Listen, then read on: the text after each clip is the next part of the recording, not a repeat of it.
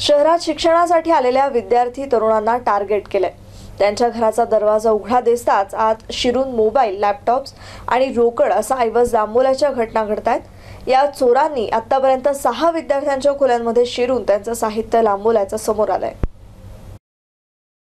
सातारा पदमपुरा सिडको भागात भाड्यानं खोल्या घेऊन राहत असलेल्या बॅचलर तरुणांचे मोबाईल लॅपटॉप असे साहित्य चोरीला गेले आहेत. या चोरांनी आतापर्यंत सातारा परिसरातील तीन विद्यार्थी तरुणांचे मोबाईल्स लॅपटॉप लांबवले आहेत.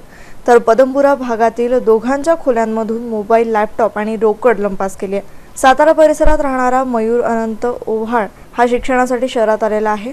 तो मित्रांसोबत खोली घेऊन राहतो. मयूर आणि त्याचा रूम पार्टनर असे दोघांनीही दरवाजा उघडा ठेवून झोपलेले असताना चोरानं आत शिरून त्यांचे चार मोबाईल लांबवलेत. हा प्रकार सोमवारी सकाळी सातच्या सुमारास उघडकीस आलाय. त्यावरून त्यांनी सातारा पोलीस ठाणं गाठत तक्रार दिली.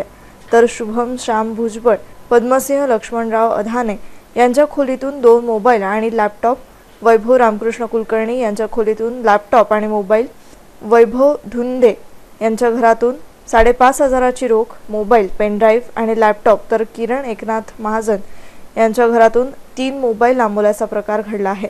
शिक्षणासाठी शहरात आलेले हेच विद्यार्थी सध्या चोरांच्या रडारवर असल्याचं दिसत असून दरवाजा उघडा दिसताच हे संधी साधत आहेत.